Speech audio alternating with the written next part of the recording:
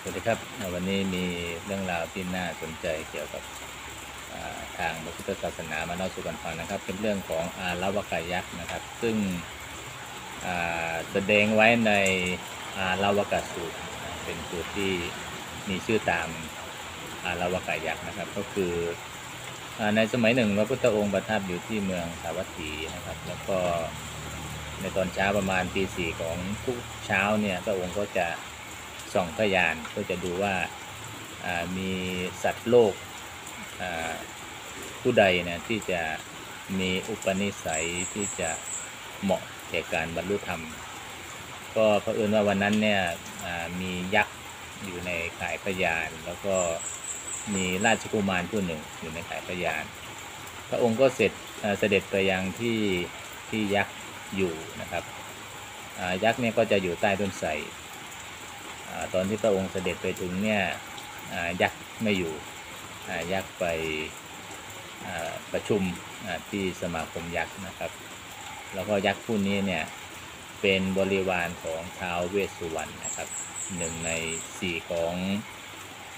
ท้าวจตุมาราชิกานะผู้ปกป้องโลก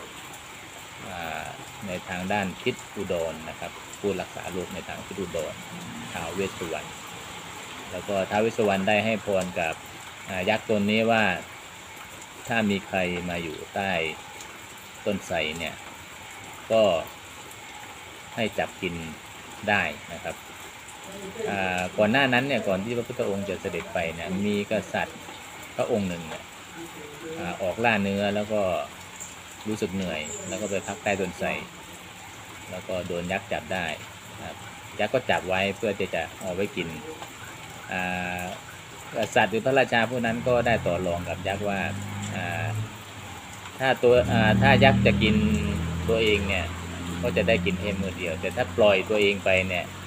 ก็จะได้กินในทุกๆวันก็คือตัวเองเนี่ยเป็นพระราชาเขาจะส่งคนเนี่ย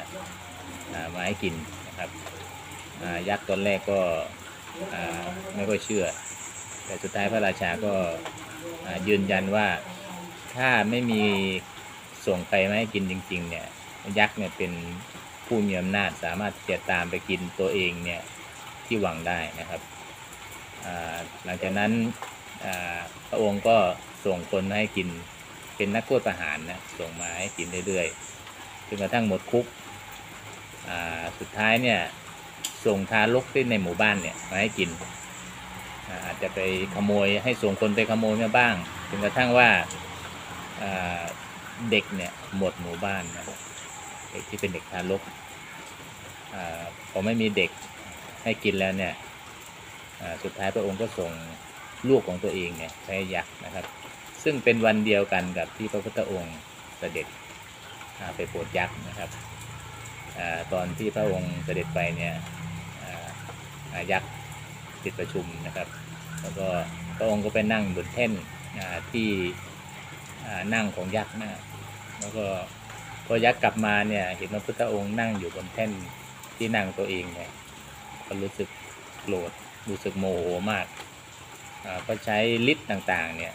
เพื่อที่จะทำร้ายพระพุทธเจ้านะครับ ไม่ว่าจะใช้ไฟใช้พายุ ใช้ฝนที่ตกเป็นหินเป็นต้นนะครับ แต่ไม่แต่ไม่สามารถทำอะไรพระพุทธองค์ได้นะครับ แล้วก็หลังจากนั้นเนี่ยยักษ์ก็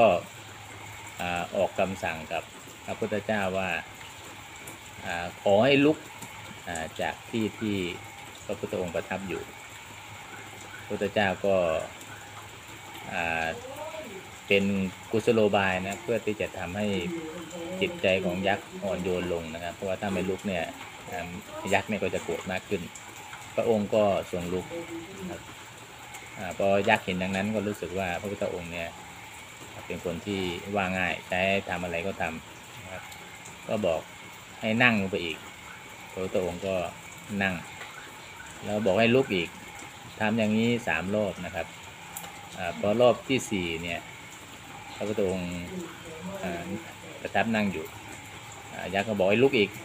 พระองค์บอกอ่าอ่าจะไม่ลุกแล้วเพราะว่าอตอนมาตอนแรกเนี่ยเหมือนกับว่ามาโดยเจ้าของบ้านไม่ได้รับเชิญนะครับก็โดยเจ้าของบ้านยังไม่อนุญาต ก็คือตัวเองก็ยอมลุกพระองค์ก็ยอมลุกแต่ว่าเมื่อเจ้าของบ้านอายุอนุญาตให้นั่ง แล้วตั้งสามครั้งเนี่ยเป็นธรรมดาของเจ้าของบ้านที่เชิญแขกมาบ้านเนี่ยถ้าไปไล่แขกออกจากบ้านเนี่ยก็ถือว่าเป็นการไม่มีมารยาทแล้วก็จะไม่มีใครนับถืออายักษ์ก็ได้ยินอย่างนี้ก็รู้สึก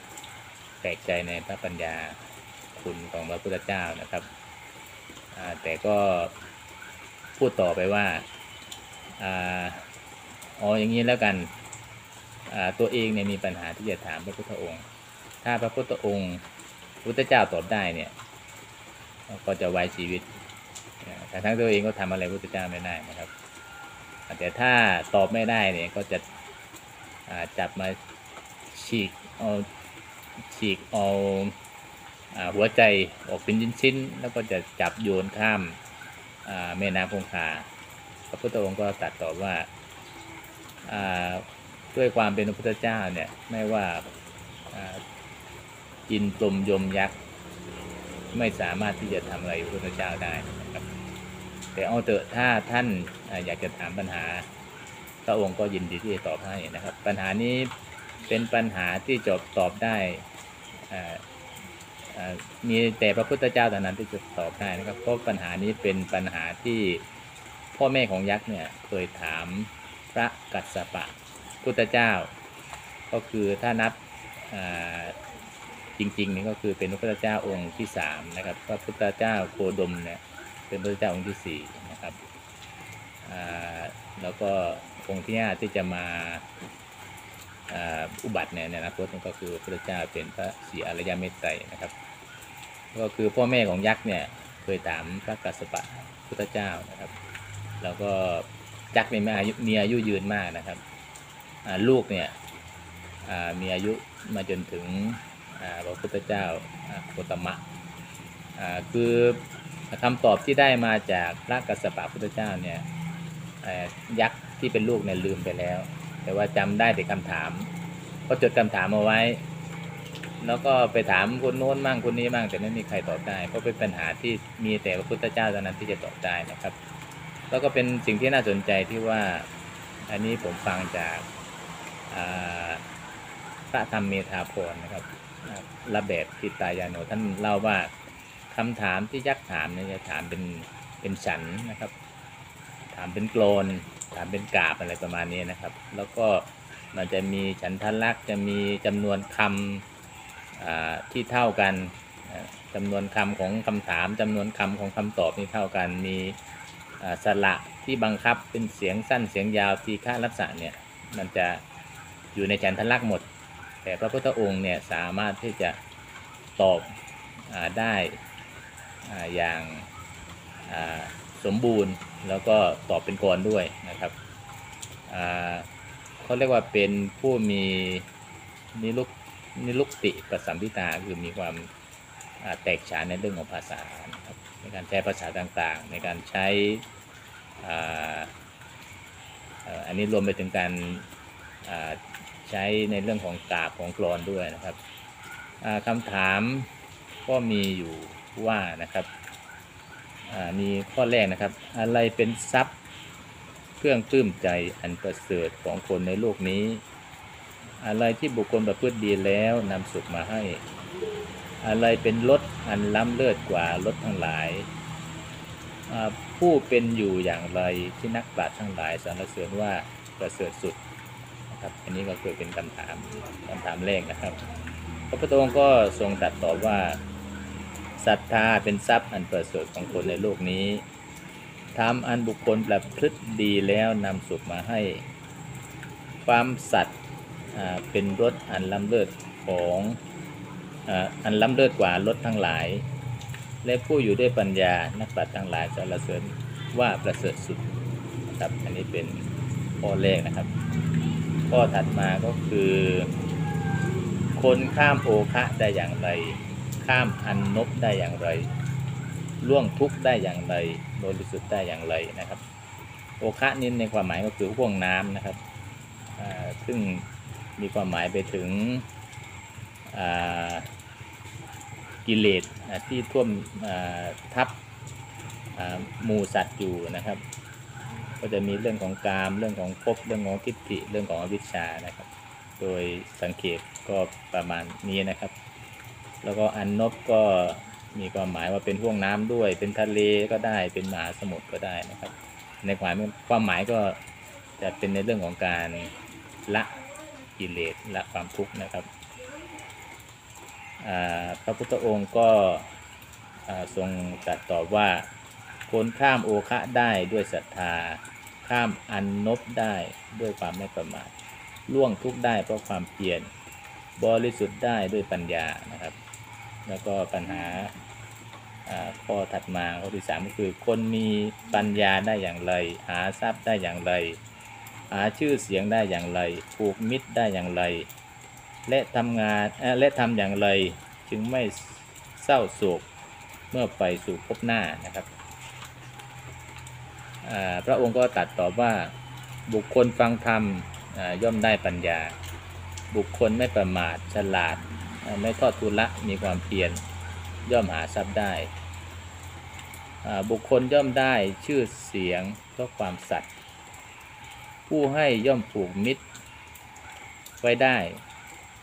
และบุคคลผู้มีธรรมสี่ประเภทคือ สัจจะธรรมะ จาคะ และขันติ บุคคลนั้น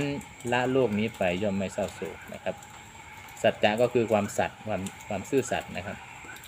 ธรรมะก็เรื่องของความข่มใจความสามารถที่บังคับใจตัวเองได้ จาคะก็ในเรื่องของอาการเสียสละนะครับทันทีก็ความอดทน อันนี้